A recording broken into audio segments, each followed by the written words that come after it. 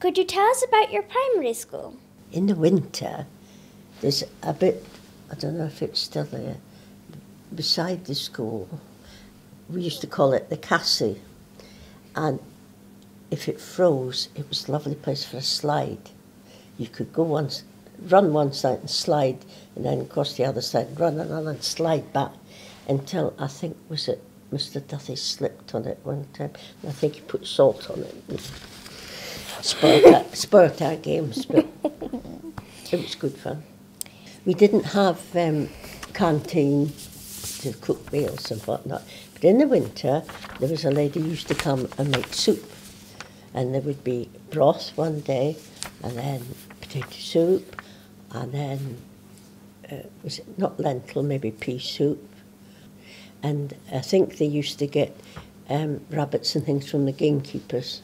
They're making the soup, and used to come in, and there was a trestle table set up just along here, and soup, big white enamel pails, and a big ladle, and enamel bowls, and um, we used to get this soup. That was fine.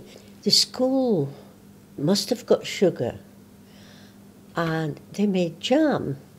And a lot of it was gooseberries and whatever fruit was going. And I know we used to take just plain bread to school and then we'd get a spoonful of jam on it, yeah.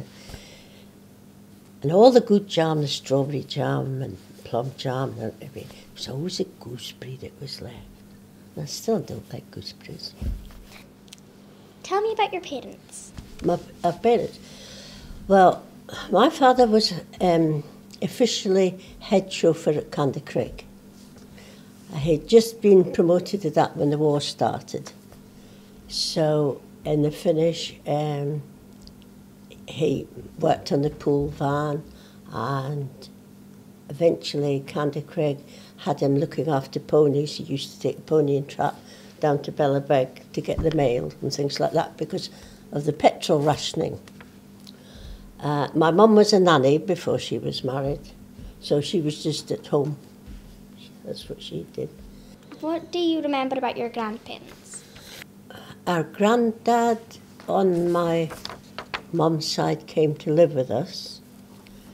And he was very good to us. He used to make us all sorts of things.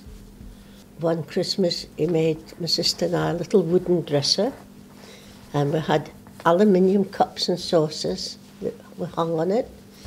And then another time, he made us a little stove, and it was out of an old biscuit tin, and he cut holes in it, and he had a little coffee tin that he bored a hole and put a thick wick in, and we could light it with methylated spirits. And then he made saucepans out of paste tins, made wire handles round them, and Sheila and I, we would boil a little bit of potato, or sometimes when the um, wild raspberries were outside, we'd pick them, make jam. Well, we thought we was making jam, but just little things like that. Yeah. But that was after the war, because my cousin was evacuated with us, and he was most annoyed because Hitler had bombed his house. Mm. Uh, Grandad was in the um, on the go at that time, and we built a bonfire and made a, a guy and painted him like Grandad painted him like Hitler, and we burnt him at the stake. Did you have your own bedroom? Shared with my sister, yes. Oh. Uh, it was my sister who taught me my first swear word. And she says, Well, if you bump your head, you can say this word. so I thought, Well, I'll try it out. So I kept standing on, up on my bed, bumping my head on the sloping ceiling, and saying this word. It began with a B. And um, I don't know what my mum and dad must have thought if they'd heard the conversation going.